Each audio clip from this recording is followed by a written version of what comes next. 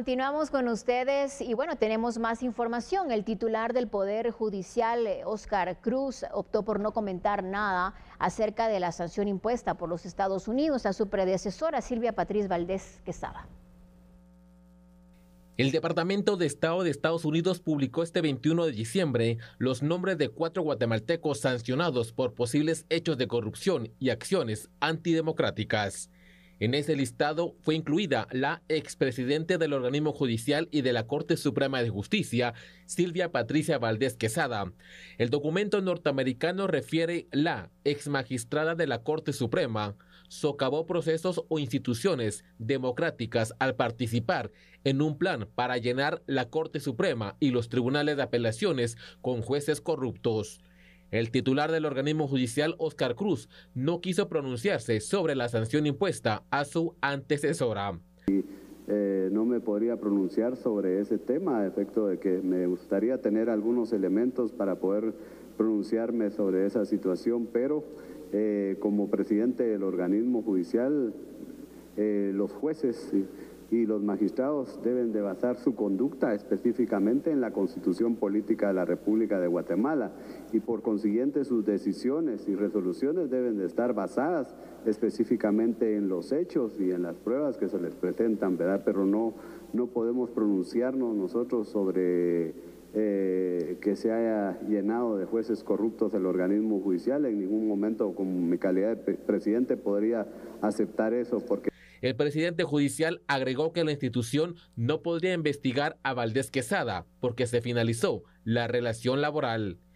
No podemos iniciar nosotros de oficio ninguna investigación porque nuestro, nuestro régimen disciplinario no lo permite porque ella ya no es empleada del organismo judicial y por consiguiente al ya no ser empleada del organismo judicial a quien compete específicamente es al Ministerio Público para que realmente realice las, investigaciones correspondientes y por supuesto pueda, pueda, presentar las denuncias, las querellas o cualquier otra situación donde se pueda deducir la responsabilidad de algún empleado, no específicamente sobre ella, sino de cualquier juez, cualquier magistrado. En otro tema, Cruz indicó que la institución gastó 32 millones de quetzales para hacer efectivo un bono de Navidad de 2.600 quetzales a cada trabajador fue una cantidad de 2.600 quetzales a cada uno de los empleados.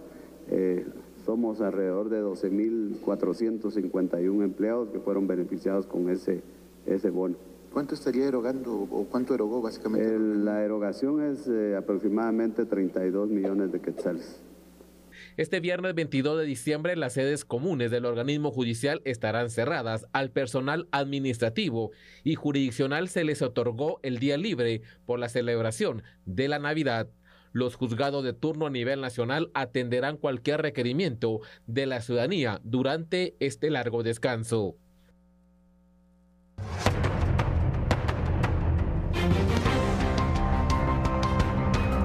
Implementación de cuatro nuevos PCI y el respaldo también del gobierno de Corea son aspectos destacados de las estrategias recién diseñadas para combatir el contrabando en el año 2024. Tenemos la ayuda de Corea por 6 millones de dólares que está sobre todo dirigido a inteligencia para evitar el contrabando y la defraudación. Así que ayer tuvimos una reunión, vamos a hacer un pequeño giro en lo que estamos haciendo.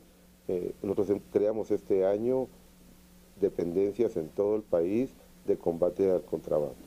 Vamos a también, ayer lo, vimos, vamos a seguir colocando nuevos puestos de control adicional en carreteras. Eh, en enero esperamos colocar por lo menos otros dos y otros dos durante el año para seguir completando la red a través de los grandes centros urbanos que va a combatir el transporte de mercadería de contrabando. A la fecha, el último reporte del Consejo Interinstitucional para la Prevención, Combate a la Defraudación Fiscal y el Contrabando Aduanero COICON contabiliza en 11 meses la incautación de mercadería valorada en más de 36.7 millones de quetzales. Tras el pago de la quincena y el tan anhelado aguinaldo, trabajadores del transporte público han denunciado que los delincuentes continúan exigiéndoles en este año 2023 el pago del bono navideño. Complicado ese tema, eh, la expectativa de una halagüeña, tan tradicional como las fiestas de fin de año, también son las extorsiones al transporte colectivo. Ya hay ataques, ya hay amenazas desde el mes de noviembre, principalmente a mediados de noviembre, inician estos grupos de presuntos delincuentes extorsionistas a perjudicar y a hostigar a los guatemaltecos, en este caso principalmente a pilotos, ayudantes y transportistas, y que también salen perjudicados los usuarios. Luego de un ataque pues, se suspende la, la, línea de transporte, del servicio, y salen perjudicados también con balas perdidas en algunos de los casos. Ya ha habido un incremento de este tipo de temas. Estuvimos hace unos días también al pendiente de ese tipo de acciones que se están dando también nuevamente en contra del transporte extraurbano y asaltos que se espera que se incrementen ahora en esta fecha eh, hasta el 31 o 1 de, enero del año 2024. Ya estamos en contacto con las autoridades del Ministerio de Gobernación. Ellos han indicado que ya tienen operativos y su plan de fin de año para evitar o contrarrestar este tipo de temas. Lo importante es también que el guatemalteco denuncie el 1555 de PDH y podamos, pues dentro de la función de la, función de la PDH, pues coordinar o eh, solicitar a las autoridades que pues refuercen el tema de seguridad ciudadana. Ahora ya han arremetido en contra de taxis blancos o autorizados, en, contra de taxis no autorizados llamados pirata o colectivos. También otros tipos de transporte como son los microbuses, eh, los que operan a través de, aplicaciones de, celular y de computadora. Ya esto se ha convertido en una ampliación del tema de extorsiones que ya es muy difícil pues, eh, abordar unidades de transporte colectivo con el tema de extorsiones y también con asaltos. Las autoridades de la Universidad Regional quieren aprovechar para desearles a cada uno de ustedes unas felices fiestas. Estas fechas son para reflexionar y sentir la paz, armonía y amor, recordando el nacimiento de Jesús. Es por ello que el rector de la Universidad Regional de Guatemala, a través de su rector Maynor Cordón, expresa sus deseos. Porque siempre decimos que en la Universidad Regional de Guatemala somos una familia y es eh, la familia de la Universidad Regional de Guatemala, por medio de mi persona como rector, la que desea a todos los guatemaltecos una feliz Navidad y un año 2024 próspero, que logremos eh, vivir eh, acorde al fruto del Espíritu, con paz, paciencia, gozo, benignidad, fe, mansedumbre y dominio propio. La fe, la esperanza y el amor no deben morir jamás y debemos mantenerla en el día a día y vivir acorde al fruto del Espíritu. Feliz Navidad, queridos eh, estudiantes y profesores de la Universidad Regional de Guatemala.